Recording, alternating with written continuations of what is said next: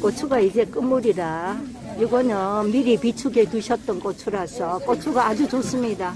안동고추 12,000원. 한 근에 12,000원이랍니다. 이렇게 매운 청양고추도 있고요. 다듬어 넣은 고추도 있답니다. 이제 고추가 끝물이라 지난번에 여기 왔을 때는 태산같이 재놓고 파셨는데 다 파시고 이제 요거는 그때 있던 만물고추 12,000원. 근데 고추가 아주 좋아요. 음 너무 좋다. 고추가 좋아요. 12,000원이랍니다. 아직 고추를 사시지 못하신 분은 얼른 사셔야겠어요 은행 얼마지요? 12,000원 고추. 은행, 은행. 은행. 고추 정말 좋아요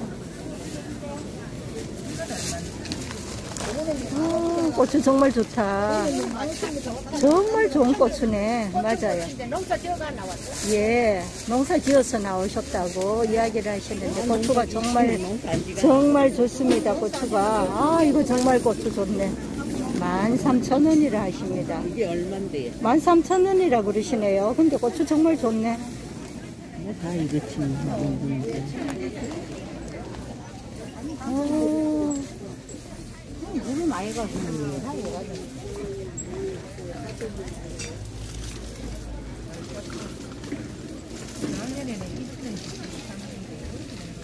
원래는 예, 형님 바꿔.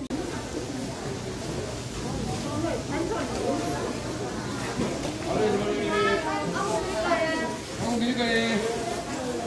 당공 당공예. 자, 당공입니다. 야발 당공.